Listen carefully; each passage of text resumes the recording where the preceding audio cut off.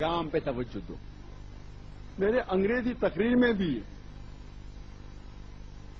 कुछ बार slip of the tongue होता है, क्योंकि मैं इंसान हूँ। और अगर स्लिप ऑफ़ द टंग होता है तो मुझे कभी भी माफ़ी मांगने में शर्म नहीं आती। कई लोग कहते हैं कि डॉक्टर जाकिर नाइक फतवा देते हैं। मैं आपसे कहना चाहता हूँ कि मुझे फतवा देने का कोई शौक नहीं। ना ही मैं अपने आप को आलम दीन समझता हूँ।